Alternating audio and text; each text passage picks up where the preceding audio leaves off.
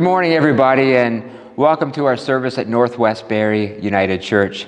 It is Sunday, June the 7th, and as we film this, of course, on Thursday, it's a beautiful spring day. Hopefully, it's a beautiful spring day as you watch it there on Sunday. Now, this weekend was scheduled to be a very special weekend at our church. It was our Spring Melodies concert. For those of you who don't attend Northwest, Spring Melodies is our annual variety show in which we showcase our musical talent uh, and other kind of talents uh, here at our church. And unfortunately, for the first time ever in the history of our church, we're not able to host it. I know a lot of people, including myself, are really missing it this year. So, Amanda, our music director, has put together a slideshow celebrating some of the shows from the past. So, we're going to watch it now for a moment, and I know for a lot of you, this will bring back some really good memories. I hope you enjoy it.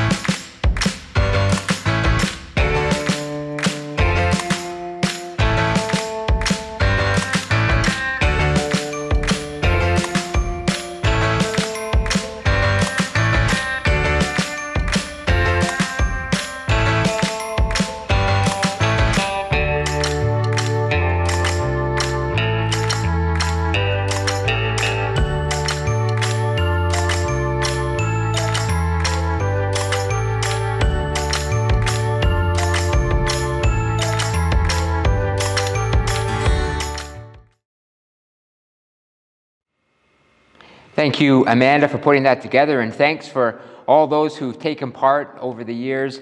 Uh, Spring Melodies 2021 is going to be amazing, I guarantee it. As always, we'd like to begin with uh, celebrations and announcements. There are two celebrations to share today. Firstly, I would like to wish Ed and Nancy Sutton a very happy 60th wedding anniversary. And that's uh, an amazing achievement. So, all the best to uh, Ed and Nancy. I'd also like to wish Eric Johnson a very happy birthday, who is celebrating this week, or Chef Eric, as many of us know from uh, Sparrow Lake Camp. I'd also like to acknowledge that uh, the month of June is Pride Month. And uh, here in Barrie, or Northwest Barrie United Church, uh, we've always had a presence in the local Pride Parade and the local Pride Festival, which of course we're not able to do this year. But I do want to acknowledge the importance of this month, particularly after what we've seen going on in the United States the past couple of weeks. How important it is for all of us to stand in solidarity with those who face discrimination and injustice.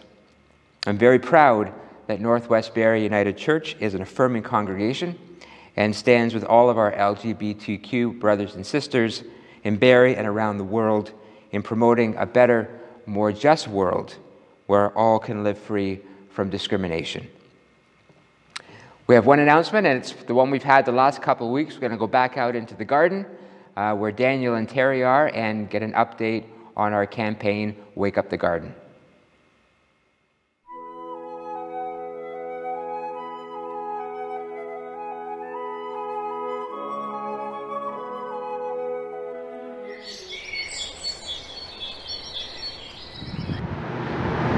Well, it's another beautiful day here in the garden, and Terry is again at work adding more plants to keep up with the donations that you keep sending in for our Wake Up the Garden campaign. And what a wonderful response it has been. We are barely into June, and we have raised almost $6,000 towards our $10,000 goal. So we can keep Terry working for another couple of weeks as we get towards our goal of 10,000. Again, just as a reminder, at the end of the broadcast, you will see different ways that you can donate to the church by email, by mailing in a check, or by donating through the website online. Please just remember to add the note, Wake Up the Garden, and help us get to our goal of $10,000. Thank you again. Thank you, Daniel, and thank you, Terry, and thank you to everybody who is donating uh, towards the campaign. It's great to see how well we're doing. Listen now for the words of our call to worship. Come, friends, near and far, in every corner of our city, every corner of our nation, every corner of our world, and gather in for worship. Come with an open mind and an open heart, ready to receive the gift of God's grace found in music and message. And may the gift of peace and the promise of hope be yours to take with you as we begin a new week. Our hymn today is Give to Us Laughter. Again, you'll see it on your screen. Uh, please feel welcome to sing along at home.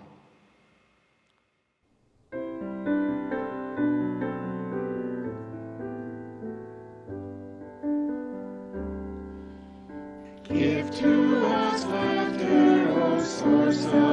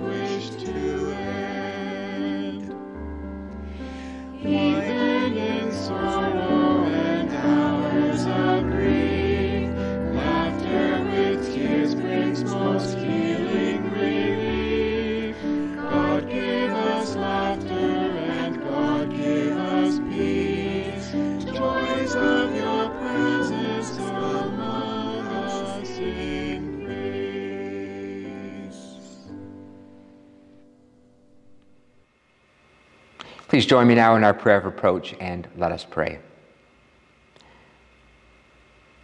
God, center us in this space of worship. Draw us entirely here. Focus our minds. Help us to drop our burdens and open us to the presence of your Spirit.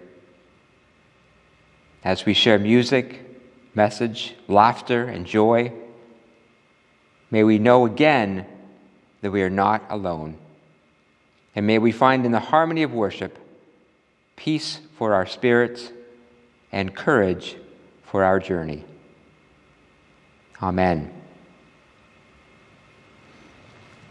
Our special music today is a piece that was performed by our choir at uh, Spring Melodies and also at our worship service. And they're going to recreate uh, that piece today in their own unique way. So I know you're going to uh, enjoy this.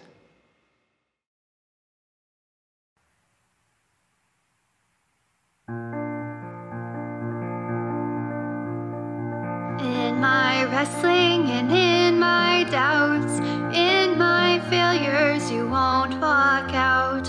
Your great love will lead me through. You are the peace in my troubled sea. Whoa, you are the peace in my troubled sea. In the silence, you won't let go. In the questions, your truth will hold. Your great love will lead me through. You are the peace in my troubled sea. Whoa, you are the peace in my troubled sea. My lighthouse, my lighthouse, shining in the darkness, I will follow you. My lighthouse, my lighthouse, I will trust the promise. You will carry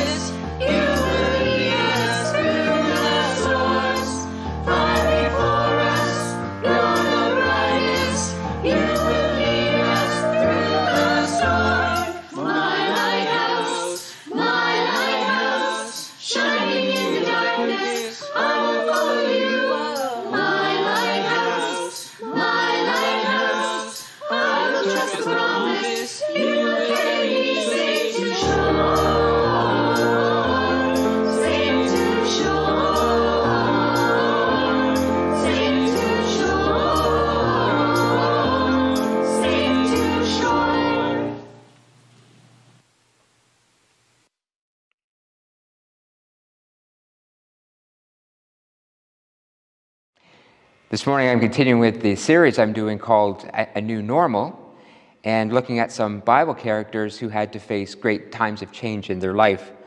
So today we're going to look at Nehemiah, and I'd like to read a passage from the book in the Bible that is named after him. And this is Nehemiah chapter 2, uh, verse 11. As you'll hear in the message, Nehemiah was the one who led the rebuilding of the walls of Jerusalem after they had been destroyed. And so this is a passage in which he begins that process. So I came to Jerusalem and was there for three days. I got up during the night. I told no one what God had put into my heart to do for Jerusalem. The only animal I took was the animal I rode. I went out by night to the valley gate, past the dragon's spring, and I inspected the walls of Jerusalem that had been broken down and its gates that had been destroyed by fire. When I returned, I said to the leaders, You see the trouble we are in? How Jerusalem lies in ruins with its gates burnt and its walls reduced to rubble? Come, let us rebuild the walls of this city so that we may no longer suffer disgrace. I told them that God had directed me. But they mocked and ridiculed me, saying, You cannot do this. So I alone began the work. And they still mocked me and asked me to come down from the wall. But I told them, I cannot come down, for I am doing something too important here. Soon others joined me, and in 52 days the walls of Jerusalem were rebuilt. And when all the nations heard of this, they were afraid, for they knew that this had been accomplished with the help of our God. Amen.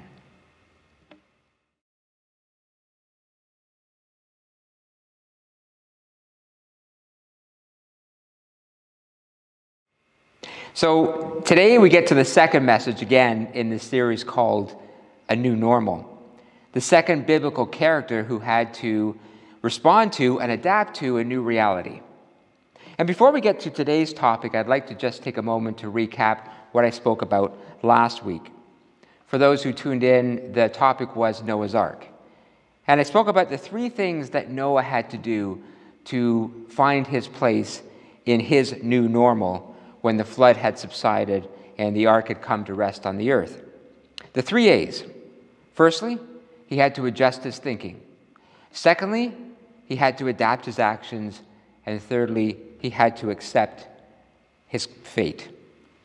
So today I want to go back into the Old Testament and introduce you to a guy named Nehemiah. And I say introduce, excuse me, because while most people know who Noah was, Nehemiah is not quite so well known. But he does have something to teach us about getting through trying times, but in a very different way from Noah.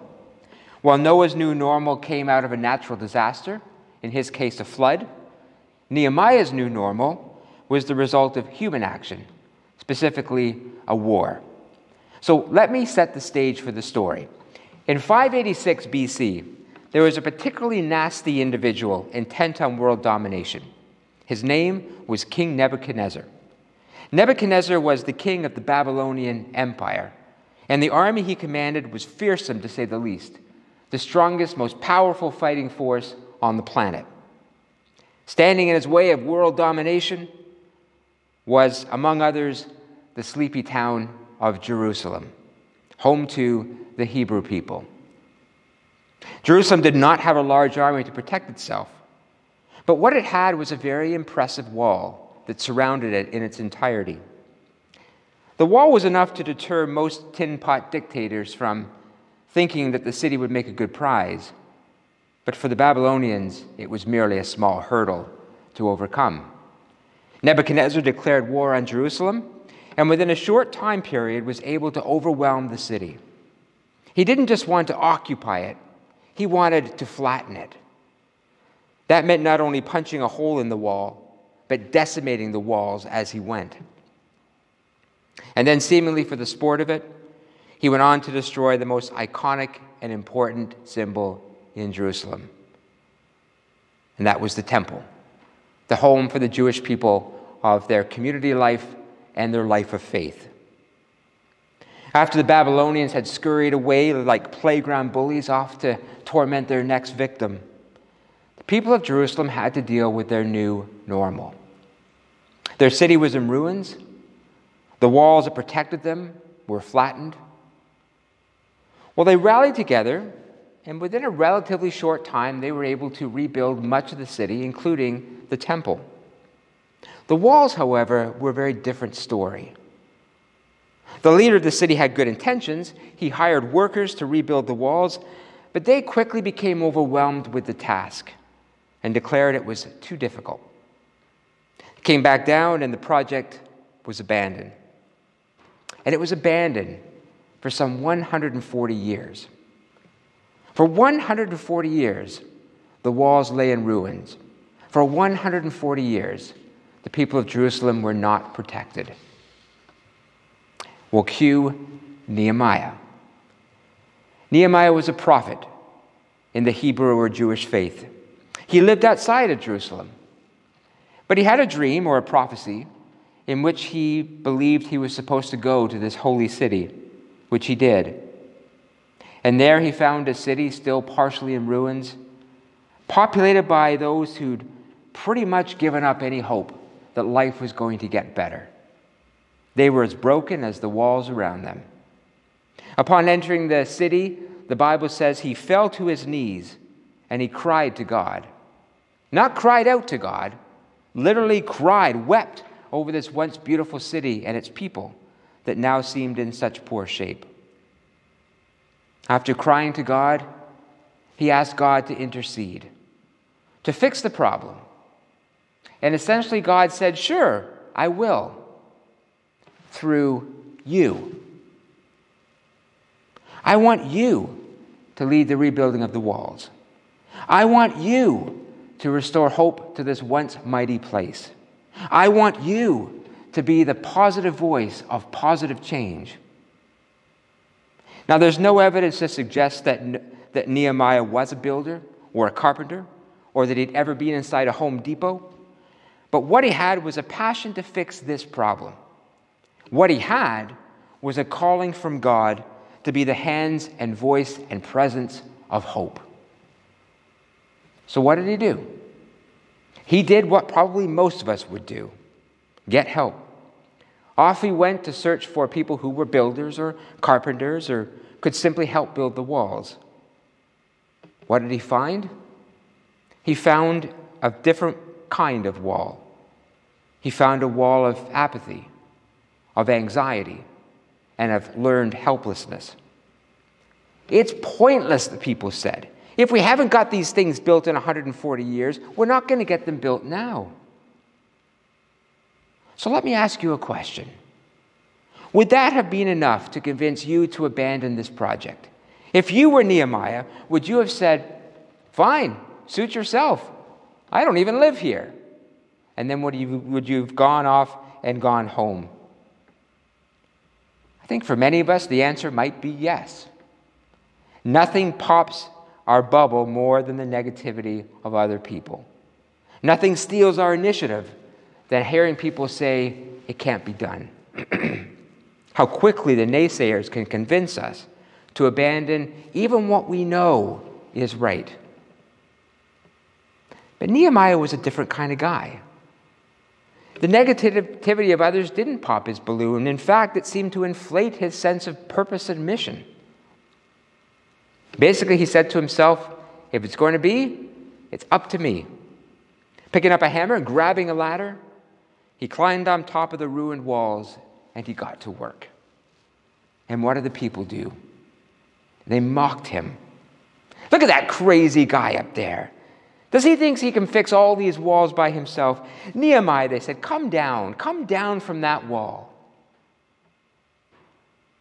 Nehemiah stopped his work put down his hammer, wiped his brow, looked down at the people, and he said to them, I cannot come down. I am doing something too important up here. Those words, and I'm assuming the resolve and passion behind them by which they were spoken, were like a match igniting a flame. They seemed to lift the people from their apathy, awaken them from their collective slumber. I cannot come down. I am doing something too important here. Suddenly, ladders started to appear everywhere as people began to join Nehemiah in his quest to fix what was broken. Something had changed in the air. Driven upward by a new sense of purpose, a renewed belief in themselves. They got to work on rebuilding the walls, brick by brick, and by doing so, rebuilding their hope. And the walls, in 52 days, were completely rebuilt. It's a great story. it's a powerful story of what one person can accomplish when they are fueled by passion and purpose and positive thinking. What one person accomplish, can accomplish when they refuse to be victimized by the hopelessness or the helplessness of others. The story of Nehemiah has always inspired me. I truly believe he's one of the great unsung heroes of the Bible. So, as we did with Noah, let's now take this story out of the scriptures and lay it over this situation that we find ourselves in with our own new normal. What does it have to teach us? What does it have to inspire in us and show us? We don't live in a city surrounded by walls. We're not facing imminent attack from a neighboring army. At least, I don't think we are. But we are facing an enemy, and we have been for a while. And what a powerful symbol for the kind of destruction that an enemy can do, even a microscopic one, when it finds our way, it finds its way above or through our walls. This tiny virus may not have the armor or the might of the Babylonian army, but it had the same purpose to destroy that which is in its path. And we've seen the destructive force, firstly, in people who've become ill and people who've lost loved ones. We've seen its destructive force economically as the world teeters on the brink of global recession. We've also seen it in terms of our inward lives. Like the temple in the story that was exposed and then destroyed, this virus has exposed some of the most fragile and sacred places within ourselves, as we may have felt a fear and a worry that we may never have experienced before, and we feel vulnerable. We have been under attack. And maybe we are feeling a little like those ancient citizens of Jerusalem a little down, a little beaten up, a little tired, a little perplexed, a little worried, a little like just kind of giving up.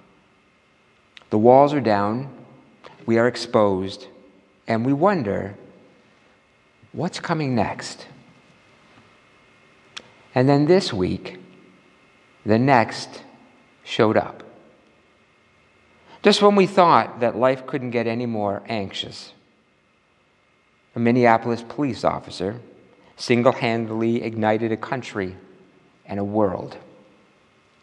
Americans and others took to their streets in rage driven protests after the gut wrenching death of George Floyd, the unarmed black man choked by a white police officer. Before long, peaceful demonstrations gave way to a far more menacing beast. As stores were set on fire, police grappled with protesters, and the streets of America, while only days before had emptied out because of the virus, suddenly filled in with angry mobs seeking justice. And we have another reason to nominate 2020 as the most destabilizing year of our lifetime. Can I just say, oh my goodness me. What a time this has been, friends. I was thinking this week about the books that are going to be written and the songs that are going to be sung and the movies that are going to be made to capture this year that's been unlike any that we, most of us, have seen in our lifetime. And we are still only in June. The walls are broken, and we may feel as vulnerable as those ancients long ago. So, I guess one of my questions this morning with all of this going on is where are the Nehemiahs? Where are those who, in difficult times, inspire the best in us? Where are those who simply by their example encourage us to be more and to do more, or even just to calm us down. You know, when I think of the racially charged protests in the United States, I can't help but think back 60 years ago when America found itself in a similar situation, striving to bring justice to those who were on the sidelines. But a voice heard above all the others back then was the voice of Martin Luther King Jr. Now, there is an example of a Nehemiah. He fought for justice passionately, relentlessly, and fearlessly. But he did it through the lens of a remarkable faith in which he believed that justice, real lasting justice, cannot come from violence and hatred, but from a place of compassion, understanding, love for one another, love for neighbor. His nonviolent approach to change in the ilk of others like Gandhi or Nelson Mandela or Jesus himself was exactly the voice that needed to be heard above the din and the clamor of chaos.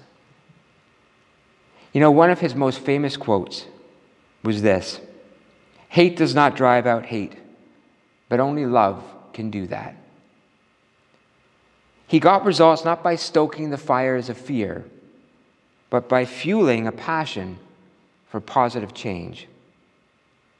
How desperately we need those measured and hopeful voices of people like Martin Luther King Jr.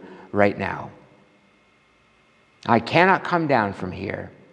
I'm doing something too important. One thing this coronavirus has taught us is that there is a real need for impassioned and visionary leadership in our world and even in our communities. This virus has harmed us, but it's also taught us.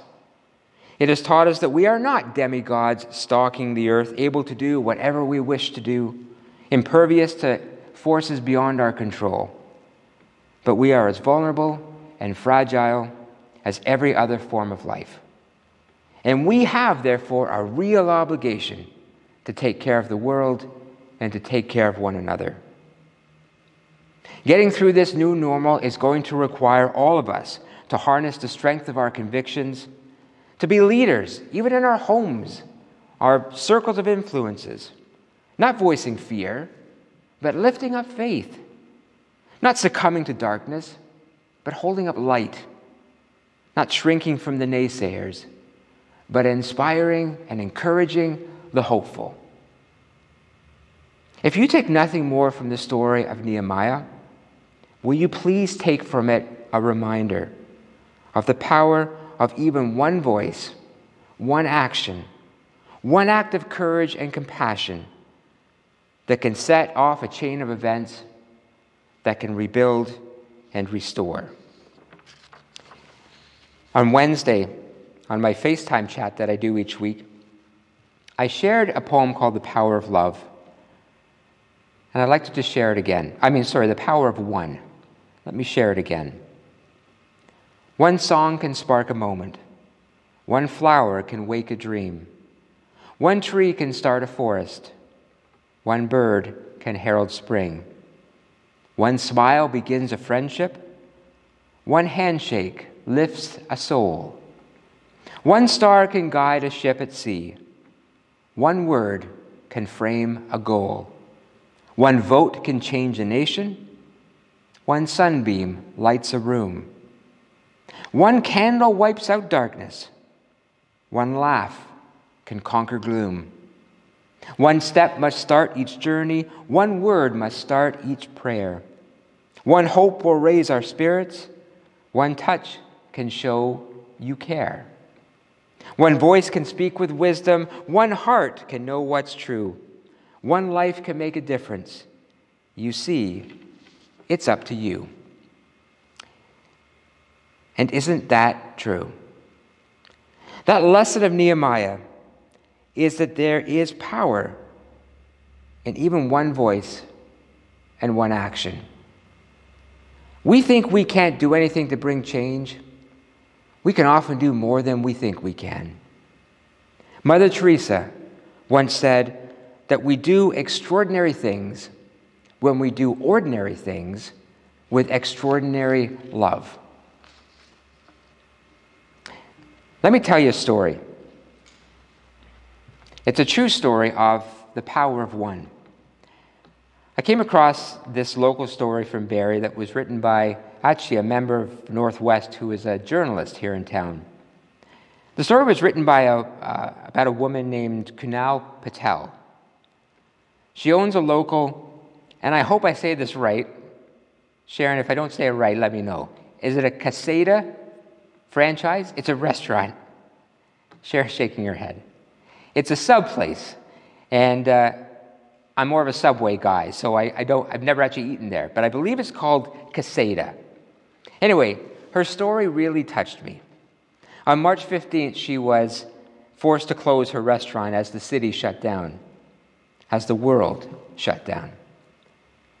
She was heading into the busiest season at her place as her place on one of the main thoroughfares in Barrie that heads out of town towards cottage country, and people often stop there to get lunch on their way.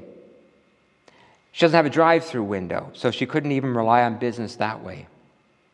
How easy it would have been for Kunal to have given up. The walls are broken, walk away. But Kunal had grown up in India, and when she was young, her town was visited by a devastating flood. But what she remembered from that time was that everyone pitched in to help each other so that they could get through the crisis together. And she remembered something her dad had said to her. He said this Where you stand in a crisis can redefine you. Let me say that again. Where you stand in a crisis can redefine you. So she thought to herself, How can I stand in this crisis? How can I help my neighbors? Next door to her was a Scotiabank. She figured this was a stressful time for anybody working long hours in a bank, so she put together free meals for all the staff and took it over to them. Next, she heard of a cleaning company that was offering free sanitization for offices. Their employees often worked overnight. So Kunal made them free meals to help them through their long shifts. And then she turned to the big fish in the sea, the Royal Victoria Hospital, where so many of our heroes are hard at work. And she started providing free burritos to people on the staff. As she said, when you have less, you simply give more of what you have. And doing so fills me with gratitude.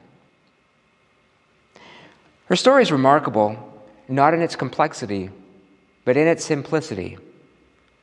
We do extraordinary things when we do ordinary things with extraordinary love. Instead of giving into loss and frustration and fear, she found a way to rise above it. Faced with brokenness, she chose the way of wholeness. She chose the way of Nehemiah. And I loved how she framed it all in that single, simple phrase Where you stand in a crisis can redefine you. Where you stand in this crisis can redefine you as well. I guess the message this morning really is a very simple one. COVID 19 acts of injustice, terror on the streets. It can all seem very overwhelming. The walls of what we have taken for granted seem shattered these days, leaving us all feeling as vulnerable and fragile as that temple in the center of Jerusalem. How easy it can be to give up and to give in. So take heed of the story of Nehemiah who wouldn't listen to naysayers, who wouldn't listen to the doubters, who wouldn't listen to the defeated or the apathetic, but he listened to the voice of God who said, You can do this, and I will be with you, and they will follow. Don't give up, folks. Keep finding ways to be the voice of hope that rises above it all. Keep finding ways to be the hands of change that fix and heal. Keep finding ways to be the heartbeat of love in your home, in your neighborhood, among your family. Pick up your hammer and get to work, even if you work alone. Because out of brokenness can come beauty again. And from the rubble of past mistakes can arise strength and hope for tomorrow. And sometimes it just takes one voice, one light, one act. I cannot come down, for I am doing something too important here. Amen. I'd like to end the service as we always do with uh, sharing a prayer. And at the end of the prayer, I'm going to offer the Lord's Prayer, and I, I hope you'll say it along with me. And again, let us come together and let us pray. God, we give you thanks that in times of uncertainty, we can have moments of worship that truly provide for us a place of rest, to rest our spirits. We thank you for the story today of Nehemiah. And we pray that it will inspire us to consider ways that we can do ordinary things with extraordinary love, and so add to the light in this world and diminish the darkness of division and fear. We do pray for peace in our hearts. We also pray for peace in our world. We know that for peace to come to our world, it must find its way first through justice. Out of the tragedy of loss and confusion that we've seen this week, may we feel newly inspired to do the work of our faith in creating a world where all are welcome at the table, where all have a voice, where all have a place. Continuing in prayer now, we think of who we're praying for today or what we're praying for today. And so, in this silent, sacred moment, we offer the prayers that are in our hearts.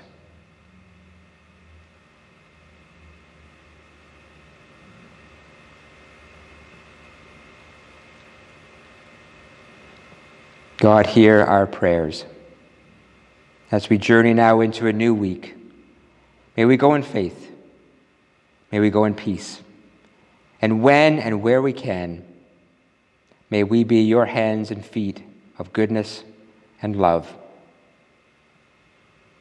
Hear us now as we continue to pray in the words of the Lord's Prayer. Our Father, who art in heaven, hallowed be thy name. Thy kingdom come, thy will be done on earth as it is in heaven. Give us this day our daily bread, and forgive us our trespasses, as we forgive those who trespass against us. And lead us not into temptation, but deliver us from evil. For thine is the kingdom, the power, and the glory, forever and ever. Amen. Thank you, everybody, for joining us today. I, I hope you enjoyed the service, and I, I hope you enjoy the week that is to come. As always, I'd like to uh, close with the words of a blessing. And these words today were written by Reverend Robin Wardlaw, who is the minister at Glen Rhodes United Church in Toronto. I'd like to share his closing words of hope and inspiration. God's touch is gentle, like a summer breeze. God's voice thunders like an autumn hurricane. God's love aches for you and for all the world, like a mother aches for her child's well being. Go forth with God's touch on your shoulders, God's voice echoing ahead of you, and God's love to keep you strong. Amen. Thanks, everyone. Great week. I'll see you again next week.